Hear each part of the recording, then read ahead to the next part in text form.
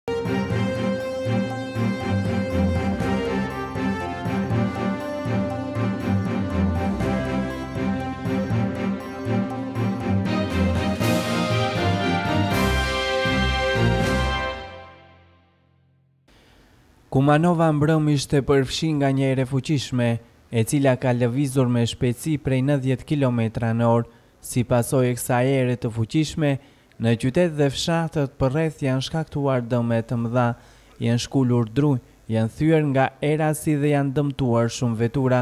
Në fshatrat përreth janë shkaktuar dëme në bujqësi në veçanti në mbjelljen e hershme kopshtare. Për shkak të stuhisë kanë mbetur pa energji elektrike katër fshatra në komunë të Likovës, Sllupçan, Orizare, Allashec dhe Bellanoc, Nga EVN Maqedoni informuan se në rrethin e qytetit nuk ka ndonjë ndërprerje të rrymës ose dëme materiale.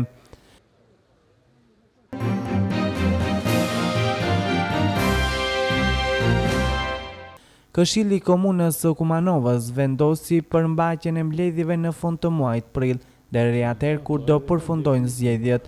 Nuk ka pengesë ligjore për mbajtjen e seancës, thjesht nuk është që të bëjmë një seancë në kuadër të fushatës.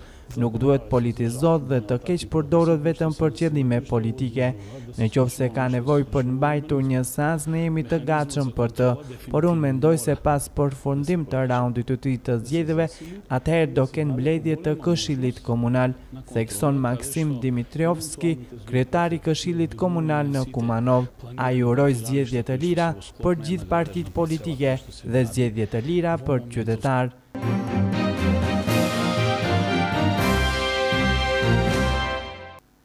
Instituti për Shëndet Publik ka komentuar njëmbëdhjetë javët e vitit në Maqedoni, që janë regjistruar një mijë e shtatëqind e njëzet e nëntë me virus të gripit, që është më pak tridhjetë pikë një për qind në krahasim me javën e kaluar. Numri më i madh i të sëmurëve në këtë sezon është regjistruar në territorin e Shkupit, tre mijë e tetëqind e pesëmbëdhjetë të prekur dhe në Prilep, tre mijë e gjashtëqind e tridhjetë e një, Ndërsa morbiditet më i madh është regjistruar në Kavadar, përcjellja e sëmundjes sipas moshës së sezonit dy mijë e trembëdhjetë dy mijë e katërmbëdhjetë tregon numrin më të madh të sëmurëve prej moshës pesëmbëdhjetë, gjashtëdhjetë e katër vjeç, dhe gjashtëdhjetë e pesë pikë dy për qind, ndërsa numër më i madh tek fëmijët është mosha katër vjeç.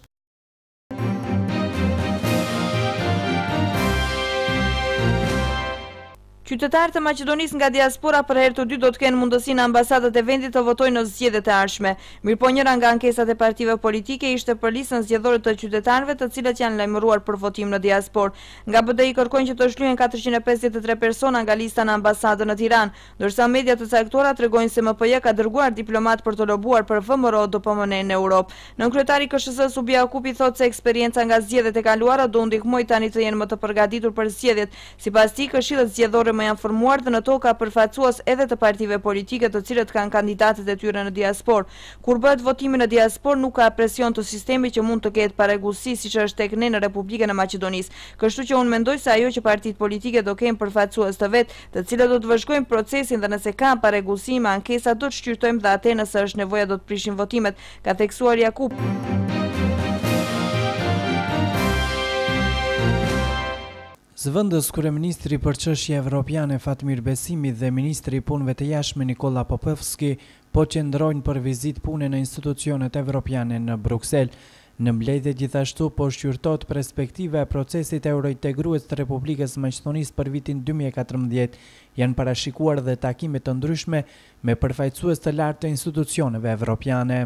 Sot në takimin me Komisarin File diskutuam për perspektivën evropiane të Republikës Maqedonisë, proceset integruese, si për Maqedoninë ashtu dhe zhvillimet e fundit në rajon dhe më gjerë sa i përket integrimeve evropiane dhe atë që diskutuam ishte takimi i ardhshëm i dialogut në nivel të lartë i ashtuquajtur HLAD, i cili do të realizohet pas zgjedhjeve, domethënë menjëherë pas që të përfundojë procesi zgjedhor dhe gjithashtu u diskutuan temat e mundshme që do të jenë në dialogun në nivel të lartë në përbërjen e ardhshme dhe kryesisht janë dy tema të rëndësishme, marrëdhëniet e mira ndërfqinjësore dhe sundimi i ligjit dhe të drejtat fundamentale dhe të gjitha këto tema janë të rëndësishme me ato që njoftuam se cilat janë progresi deri tashëm dhe aktet apo iniciativat që konkretisht do të bëjnë ndryshimin real në kuadër të këtyre fushave. Gjithashtu diskutuam që si përfundim që agjenda evropiane vazhdon të mbetet prioritet për Republikën e Maqedonisë në përbërjen e ardhshme të parlamentit dhe të qeverisë, gjithsesi që Kjo temë vazhdon të jetë në prioritetet e ardhshme për Republikën e Maqedonisë, gjithsesi integrimi në Bashkimin Evropian mbetet prioritet strategjik i vendit.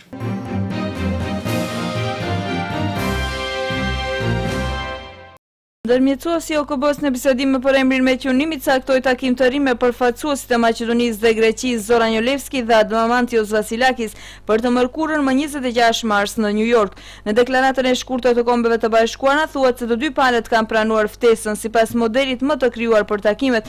Ambasadori Nimitz së pari takohet me palët ndaras dhe pastaj do të ketë takim të përbashkët në selinë e OKB-së. Bisedime të këtilla së fundi kishte kah fundi i muajit tetor vitin e kaluar ku ambasadori Nimitz theksoi se mes dy palëve ende ka dallime të mëdha rreth kësaj pyetje.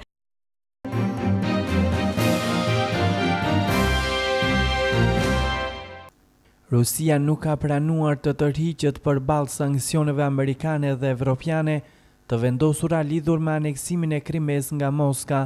Veprimet e fundit të Rusisë kanë shkaktuar shqetësime në rrjedhjen e fqinjëve të Rusisë dhe janë pasuar nga paralajmërime të reja nga Uashingtoni para syve të trupave ukrainase, Forcat pro-ushtarako-pro-ruse shpërthyen dyert e komandës së marinës ukrainase dhe iu vënë ndryshime në dekor dhe në masat e sigurisë në Uashington Sekretari i Përgjithshëm i NATO-s Andre Fogh Rasmussen e cilësoi agresionin rus një thirrje për zgjim Ky është kërcënimi më i rëndë ndaj sigurisë dhe stabilitetit evropian që nga përfundimi i luftës së ftohtë, tha Rasmussen.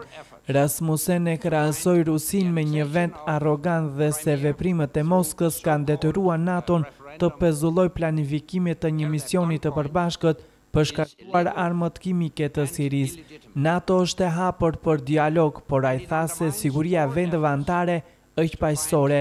Edhe në një takim të Këshillit të Sigurimit të OKB-së, ambasadorja amerikane, U hodh në sulm të ri, Rusia njihet për kontribut të madh ndaj letërsisë botërore dhe ajo që dëgjuam nga ambasadori rus tregon se ai ka më shumë imagjinatë se Tolstoi apo Çehovi, tha ajo. Ajo akuzoi Rusinë se po riharton kufinjtë. Zëdhënësi i Shtëpisë së Bardhë paralajmëroi dje se sanksionet ekzistuese dhe sanksionet e reja që po planifikohet të garantojnë se Rusia do paguajë shumë shtrejtë këtë.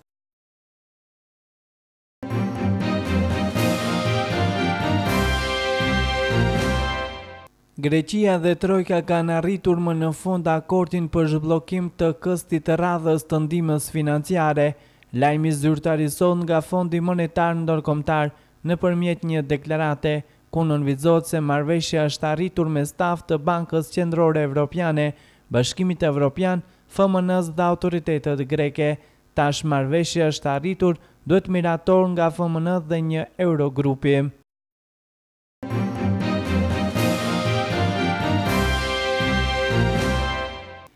Kryeministri i Australisë, Tony Abbott, ka thënë se imazhet satelitore kanë gjetur dy objekte të cilat mund t'i përkasin aeroplanit të zhdukur të kompanisë Malajzia Airlines. Ai i ka thënë parlamentit australian se bëhet fjalë për informacione të reja të besueshme në lidhje me kërkimin në jug të Oqeanit Indian. Zyrtarët australianë thonë se objekti ndodhet rreth dyqind e pesëdhjetë kilometra në jugperëndim të qytetit australian. Aeroplani me dyqind e tridhjetë e nëntë njerëz në bord është zhdukur nga tetë marsi, derisa udhëtonte nga Kuala Lumpuri në Pekin. Kërkimet janë përqendruar në dy korridore të mëdha,